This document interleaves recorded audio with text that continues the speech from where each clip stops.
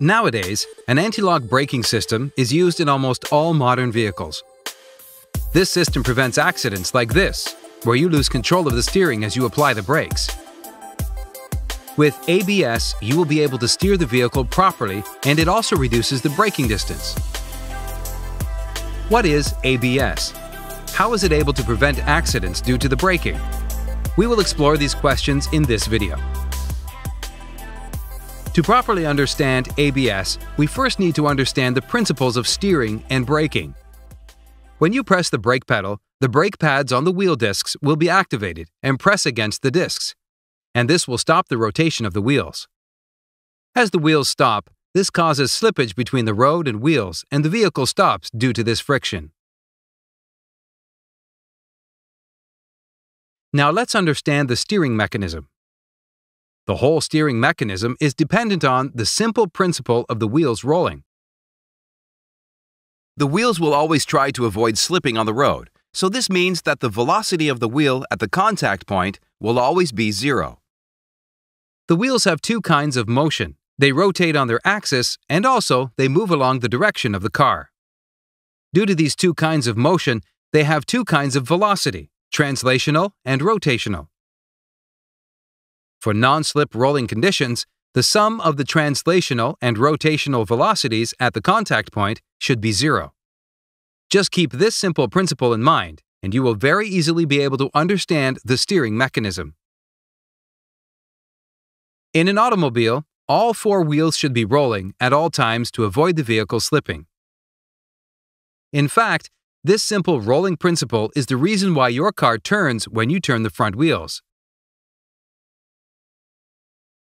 Let's examine this.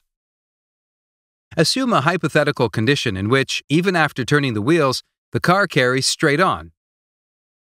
In this case, the rolling velocity will be inclined as shown, and the translation velocity remains straight. Therefore, if you add up these two velocities, the resultant velocity will not be zero. This will cause the car to slip. The only way to avoid this is by making the translation velocity also incline. This is possible only when the whole car makes a turn as shown. When the car makes a turn, at the instantaneous center shown, all four wheels can satisfy the condition of rolling. From this snapshot, you can clearly see how the velocity at the contact point of all four wheels becomes zero. Now, let's analyze the steering mechanism at the time of braking. Due to the brake pads being activated, the wheels stop spinning. Even though the wheels are turned, since they are not rotating, there will be no rotational velocity at all. In this case, the vehicle does not need to turn, as this has become like a normal case of braking. The vehicle will no longer react to the driver's changes to the steering and will slide in a straight line, which can cause an accident. Apart from losing control of the steering, Cars without ABS face another big issue braking on surfaces with different levels of traction. When the left and right wheels are on different traction surfaces, applying the brakes will generate different frictional forces on the wheels. This will produce torque, and the car will go into an uncontrollable spin.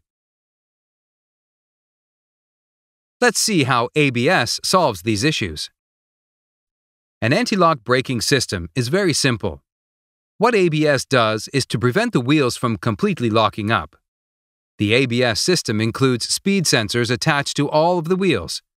When the sensors detect that a wheel is about to lock up, a modulator unit partially releases the brake pad on that wheel. This way, the wheels will be allowed to spin intermittently during braking. You can immediately see the effect of this intermittent wheel rotation on steering. Here, the wheels will have a rotational velocity component. This will definitely allow the steering to function, and driver will be able to steer the vehicle even during the braking. But the big question here is, how does the action of intermittently releasing the brakes reduce the braking distance? To get an answer to this question, we first need to understand how the coefficient of friction between a tire and the road varies with respect to slip. In perfect rolling conditions, the value of the frictional coefficient is nearly zero. However, when the wheel is 100% slipping, sliding friction comes into play.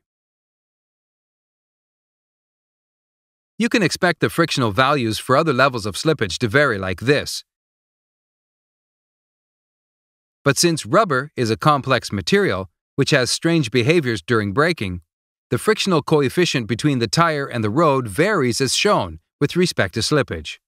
It has a peak value at around 12% of slip ratio, and below and above this, the frictional coefficient reduces. During braking without ABS, the frictional coefficient, which comes into effect, is predominantly sliding friction.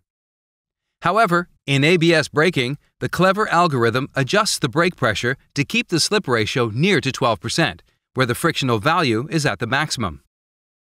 This significantly reduces the braking distance.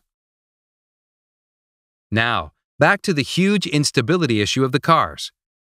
By intelligent electronic braking distribution, which is a subsystem of modern ABS, one can overcome this issue very easily. In EBD, yaw rate of the car and the relative slip of each wheel is measured. Just by reducing the brake pressure on the wheels with higher grip, we will be able to reduce the frictional force produced by these wheels. This will keep the yaw torque and the whole car under control. We hope this video gave you a clear conceptual overview of the workings of ABS.